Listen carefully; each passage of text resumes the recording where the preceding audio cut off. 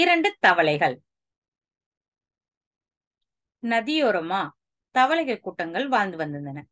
அப்படி வாழ்ந்துகிட்டு கொண்டிருக்கும் போது கோடை காலம் வர ஆரம்பிக்கும் போது தண்ணி கொஞ்சம் கம்மியா இருந்தது. அந்த நேரத்துல தவளைகள் தண்ணீருக்கு இடம் தேடி சென்றாங்க.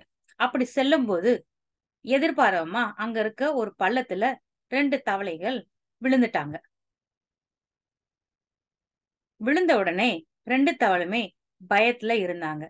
அவங்களுக்கு உதவுவதற்காக அவங்க நண்பர்களும் எட்டி பார்த்தாங்க. ஆனா அவங்களால உதவ முடியல. கீழே விழுந்த அந்த ரெண்டு தவளைகளும் என்ன பண்ணுவதுன்னு தெரியாம இருந்தது.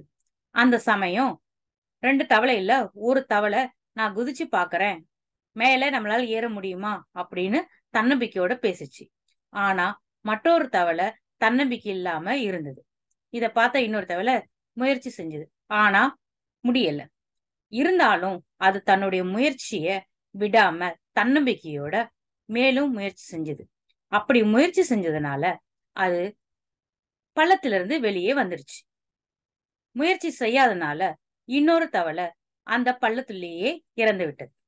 இந்த கதையிலிருந்து நமக்கு என்ன தெரியுதுன்னா முயற்சி மட்டும் இல்லாம தன்னம்பிக்கையும் இருக்கணும்.